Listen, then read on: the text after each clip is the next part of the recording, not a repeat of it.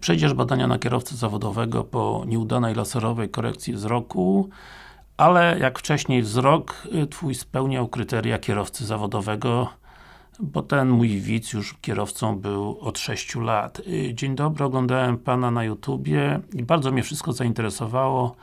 Mówił Pan o wadzie wzroku wilczka.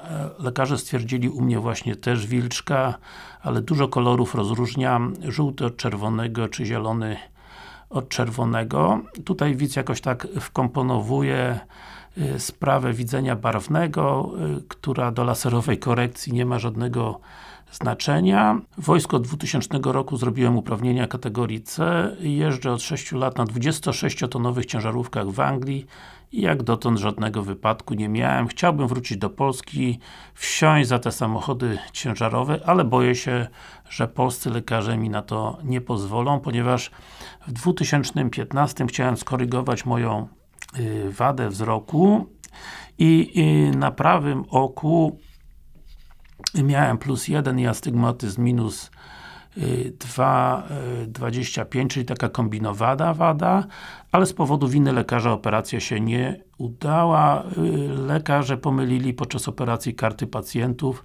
Teraz mam plus 3 i astygmatyzm minus 2,25, czyli wada się pogorszyła. Zastanawiam się, czy jest dla mnie jakaś szansa, jakaś nadzieja. Będę wdzięczny za odpowiedź. Zanim udzielę odpowiedzi, powiem szczerze, że sam rozważałem u siebie korekcję laserową wzroku, ale jakoś mi tam przeszło, noszę okulary i no mimo wszystko przy takich niewielkich wadach wzroku warto się zastanowić, czy tą korekcję robić jako kierowca zawodowy, czy nie robić. Nie mówię tutaj o kosztach, bo tam jest to w granicach tam kilku tysięcy złotych, coś koło pięciu tysięcy chyba za oko, czy za dwa oka, natomiast no różne powikłania, jak to mój widz powiedział, bywają. Natomiast Odnośnie sprawdzenia, czy może być kierowcą zawodowym, czy nie, rozwiązanie jest tutaj wyjątkowo proste.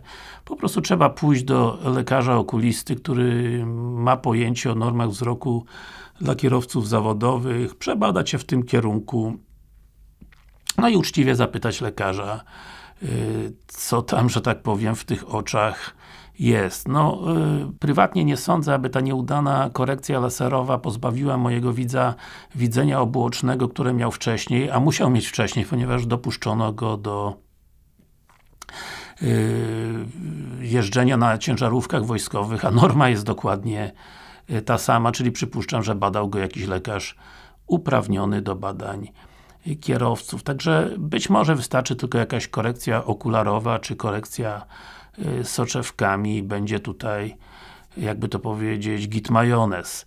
Y, natomiast y, tak czy owak sprawa jest do rozstrzygnięcia przez okulistę i póki ten okulista nie zbada, to wszystko jest takim wróżeniem z fusu. Także na tym kończę. Mówił Darek Kraśnicki z Wrocławia. Jak nie jesteś moim widzem, oczywiście obowiązkowa subskrypcja poprzez to kółeczko lub obejrzyj inny filmik o badaniach wzroku kierowców zawodowych.